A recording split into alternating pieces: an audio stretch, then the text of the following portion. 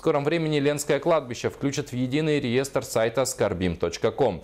На нем размещена единая база данных усопших граждан. Введя в, поиске, в поисковике название региона, имя и фамилию умершего, можно будет увидеть, как выглядит место захоронения сегодня, а также заказать услуги. Подробнее об этом далее. Сегодня в Ленске специалистами городской администрации ведется работа по подключению к международной системе Скорбим.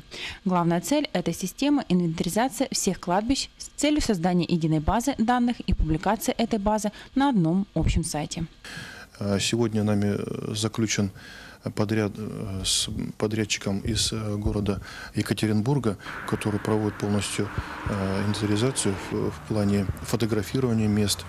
И через международную систему skarbim.ru мы можем сегодня, находясь в любой точке земного шара, выйти на сайт и задать параметры по захоронению того или иного человека. Введя в поисковике название региона, имя и фамилию умершего человека, на экране появляется фотография места захоронения. Сайт позволит разыскать умерших людей, виртуально выразить соболезнования и заказать реальные услуги ухода за могилами, возложения цветов и прочее. Может быть, заменить памятник. Может быть, там заказать услугу на год обслуживания. Чистить, я не знаю, там снег, я не знаю, там ухаживать за могилкой и так далее. Сегодня представителями сайта проведена инвентаризация двух ленских городских кладбищ.